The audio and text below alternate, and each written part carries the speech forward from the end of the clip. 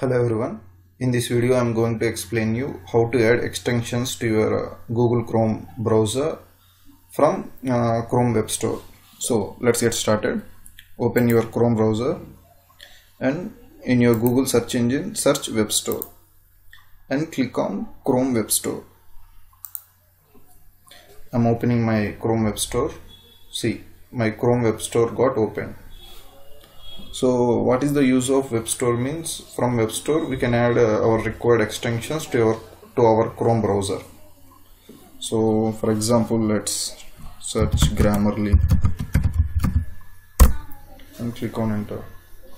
These are the extensions provided by chrome web store. Suppose while drafting mail if there are any issues in your mail drafting like uh, if there are any spelling mistakes or sentence formation incorrect it will show you so this extension will be helpful like that. And suppose if you want to stop ads in your uh, chrome browser you can use ads blocker. Ad blocker free ad blocker block ads browse safe. You can just click on it and you can click add to chrome. Add extension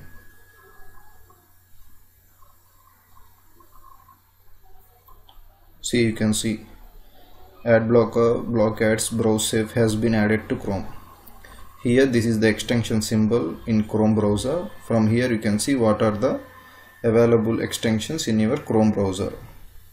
In this way we can add extensions in your chrome browser from web store. I hope the video is helpful. If you like the video please subscribe to my channel. Thank you